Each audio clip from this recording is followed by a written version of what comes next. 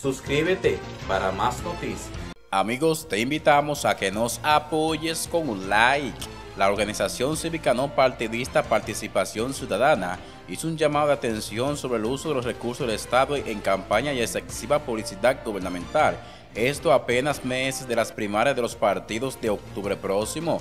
Participación Ciudadana alertó mediante un comunicado que según datos publicados en la página web de la Dirección General de Presupuesto, durante el pasado año 2022 el gobierno gastó 6.375 millones en publicidad y propaganda, lo que aseguró constituye casi el doble que lo destinado a ese fin del año anterior, cuando se habían gastado 3.651 millones de pesos.